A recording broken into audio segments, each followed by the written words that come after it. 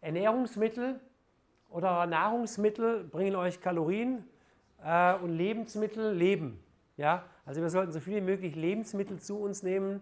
Lebensmittel ist alles, wenn wir es im Boden stecken, wächst weiter. Ja? Und alles andere ist Nahrungsmittel, ist Kalorienzufuhr. Das heißt, im Prinzip, wenn jemand sich von Hamburger ernährt bei McDonalds, ähm, bei der Goldenen Möwe, dann, äh, dann, dann verhungern die eigentlich. Ja? Weil die essen Junkfood, wo nichts drin ist, Kalorien und der Körper schreit nach Biophotonen eigentlich, nach Lebensmitteln. Ja? Und die führen Kalorien zu, aber eigentlich will der Körper Lebensmittel haben. Deswegen essen immer mehr und immer mehr und immer mehr und werden nie satt. Ja? Ich, ich habe früher über 20 Jahre morgens äh, immer einen Salat gegessen. Mittlerweile mache ich mir einen Green Smoothie, was mehr oder weniger dasselbe ist. Ist ja eigentlich, sagen wir mal, Salat zum Trinken. Ähm, das mache ich, weil ich dann einfach mal ein bisschen Zeit spare. Ja? Und dann sitze ich gemütlich morgens noch mal bei mir auf dem Sofa und ich lese immer noch mal eine halbe Stunde, bevor ich anfange zu arbeiten. Und da versaue ich halt weniger, wenn ich keinen Salat auf dem Bauch habe und nebenher lese, wenn ich mal einen Smoothie habe. Das ist der einzige Grund. Aber eigentlich ist es flüssiger Salat, der Smoothie.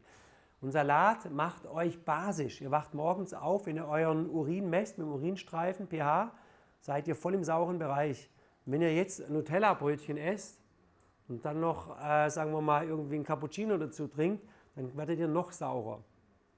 Aber sobald ihr ähm, vor allen Dingen Salat esst morgens, werdet ihr basisch. Also wir müssen gucken, dass ihr morgens wieder basisch werden. Wenn ihr basisch esst, werdet ihr nicht hungrig. Ich kann dann durchoperieren, egal wie lang. Wenn ich eine Pause habe, esse ich natürlich. Ja, schmeckt ja auch gut hier. Aber ich kann auch, wenn es sein muss, bis 16 Uhr durchoperieren. Ich werde nicht müde. Weil ihr werdet nur müde, weil ihr fahrt euren Blutzucker hoch durch kurzkettige Kohlenhydrate, schüttet mehr Insulin aus, als ihr bräuchtet. Dann wird quasi der ganze Blutzucker wieder abgebaut durch Insulin. Ihr habt immer noch Insulin übrig. Das Insulin macht wieder Hungergefühl. Ja? Dann fallt ihr in das 11 Uhr Loch und was macht ihr? Ja, lila Pause oder Milchschnitte, ja, wie es die Werbung uns erzählt. Ja, reine Kohlenhydrate fährt Insulin wieder hoch. Dann geht es zack, Insulin hoch, runter, hoch, runter. Und ihr braucht eine ganz balancierte Insulinausschüttung. Das geht nur mit langkettigen Kohlenhydraten. Salat, Gemüse, ähm, Süßkartoffeln, diese Sachen. Ja, ganz, ganz wichtig. Dann, hier Hippokrates hat schon gesagt, eure Nahrung soll euer Heilmittel, eure Heilmittel, eure Nahrung sein. Ja, werdet ihr auch morgen beim, beim Dome oder bei Domesersatz dann hören. Ähm, morgens basisch, Gemüsesalate, auch Smoothie, Knochenbrühe, solche Sachen. Wir geben den Patienten auch, die, die nicht Vegetarier sind, eine Knochenbrühe. Soll natürlich dann auch, von, auch äh, aus organischer Haltung kommen. Generell ist es so, da hat der Urvater, der berühmteste Zahnarzt aller Zeiten, war Weston Price vor 100 Jahren, kennen die meisten von euch. Der hat ja damals so verschiedene Aborigines besucht, unter anderem auch Schweizer Bergvölker, die er auch quasi als Aborigines bezeichnet hat. Finden die Schweizer nicht so lustig. Und ähm, hat aber einfach sich die natürliche Lebensweise angeguckt und hat da eben gesehen, dass ähm, was macht Zahnanomalien, all diese ganzen Dinge.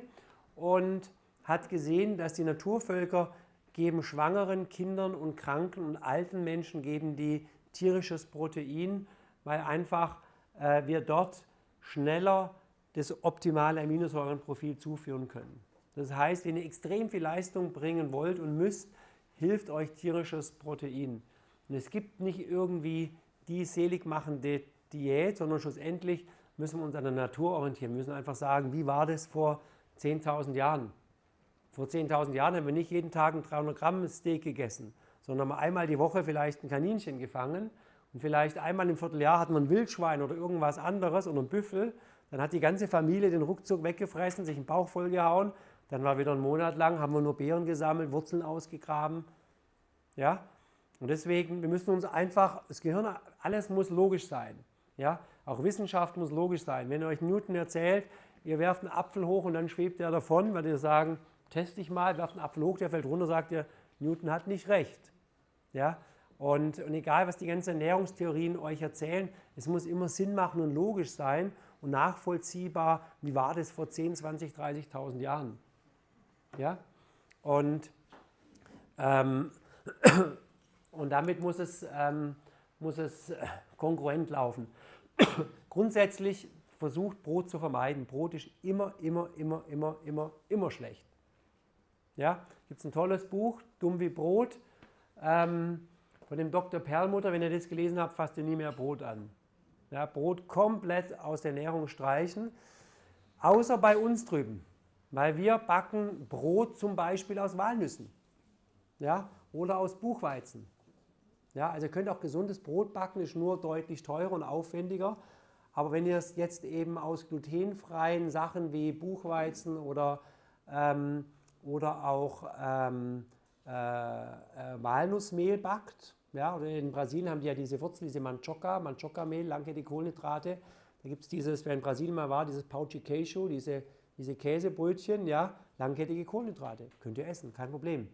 Ja, aber nicht dieses normale Brot vom Bäcker, weil die Bäcker heute sind ja eigentlich, das Einzige, was denen ja fehlt, ist die Zapfsäule, weil die das, ihre Brötchen und Brezeln gleich herstellen wie die Tankstelle. Ja, kaufen die irgendwo als Backlinge für 15 Cent und, und, und schieben so einen Backofen. Also echte Bäckereien, die wirklich noch ihr Mehl oder ihre Backmischung selber machen oder ihren Teig, gibt es ja quasi nicht mehr. Nur noch ganz wenige. Ja, und das ist eigentlich reines Gift, was ihr dazu euch nehmt, wenn ihr irgendwas vom Bäcker nehmt. Wenn Fisch oder Fleisch, wenig Top-Qualität. Ja, immer Quanti Qualität vor, Quali vor Quantität. Wild ist natürlich super, wenn ihr irgendeinen Jäger kennt, der so eine Gams geschossen hat, die auf 2000 Meter Höhe sich von, von kleinen Kräutern und Enzian, weiß der Geier was, ernährt hat, sensationell. Ja? Vor allen Dingen war die Gams schon tot, bevor sie gemerkt hat, dass sie, äh, dass sie, dass sie getroffen wurde sozusagen. Ja?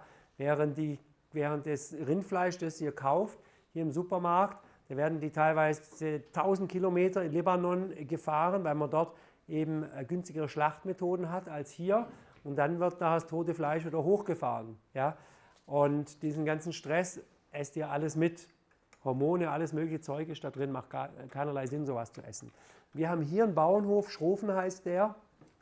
Die gehen auf die Weide und erschießen das Rind quasi auf der Weide. Ja, das, das heißt nur Stresshormone, weil das merkt gar nicht, dass es tot ist, wacht einfach nicht mehr auf. Fertig. Ja? Und das ist dann wirklich gutes Fleisch, aber davon nicht 300 Gramm, sondern ja, Ladies Cut.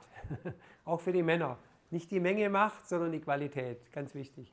So, wenig Kohlenhydrate, vor allen Dingen, also Kohlenhydrate sind super, langkettige Kohlenhydrate. Gemüse, Salat, das sind alles Kohlenhydrate, aber immer langkettige Long Chain Carbohydrates weil die den Blutzuckerspiegel ganz sanft fahren. Ja? Damit verbessert ihr euren Schlaf, gereinigtes Wasser. Wir haben hier den Futomat, der tut das Wasser komplett destillieren, das destilliertes Wasser, da ist nichts mehr drin und dann noch Sauerstoff hinzuführen. Ja? Und wenn euch irgendjemand was erzählt oder ihr zweifelt an, dass dieses Wasser das Beste ist, fragt immer die Natur. Stellt drei Schalen raus auf die Terrasse, eins mit Mineralwasser, eins mit Regenwasser ähm, eins mit Leitungswasser und eins mit dem Futomat und dann beobachtet ihr, wo die Vögel hingehen. Ja? Und dann wisst ihr, welches Wasser das Beste ist, weil die haben Instinkt. Und ihr werdet sehen, die gehen an das Wasser vom Futomat. Ja, deswegen haben wir das ja überall installiert, dass wir überall das gereinigte, saubere Wasser haben. Nahrungsergänzung.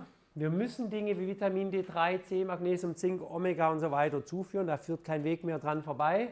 Das heißt, solche Sachen wie hier, was wir konzipiert haben, das Basic Immune, da spreche ich ausführlich am Freitag und Samstag drüber oder auch Daily Use. Damit müssen wir uns abfinden und wenn wir da so ein Tütchen voll zu uns nehmen, dann denken wir, wow, das ist ganz schön viel. Ja? Aber das ist Nahrung. Das ist eigentlich, das ist eigentlich eure Nahrung. Das andere schmeckt toll, sieht super aus, da ist leider nichts mehr drin. Und wir kommen ohne das nicht zurecht und, wir sehen, dass es uns sofort besser geht. Und wenn wir die richtige Dosierung finden und die richtige Darreichungsform, wie beim Basic Immune, das wird über zwölf Stunden, also ist ja ein Tütchen morgens, eins abends, insgesamt über 24 Stunden Slow Release an der richtigen Stelle im Darm abgegeben. Das ist ein hochkomplexes System. Dann merkt ihr nach zwei Tagen, merkt ihr, dass euch besser geht. Wenn ihr es hier aufzeichnet, merkt ihr nach zwei Tagen Basic Immune, dass eure Werte viel besser sind. Ja, das deutsche Segel-Nationalteam Olympia nimmt unser Basic Immune mittlerweile. Ja, und haben gravierende Verbesserungen, Regenerationszeit, gravierende Verbesserungen in der Leistung. Jetzt nehmen die ersten vom America's Cup Prada Team nehmen unser Basic Immun und auch Team Emirates New Zealand fängt jetzt an, unser Basic Immun zu nehmen. Weil Sie sehen, es ist brachial stark. Wir haben es für Patienten entwickelt und immer mehr Sportler nehmen es jetzt.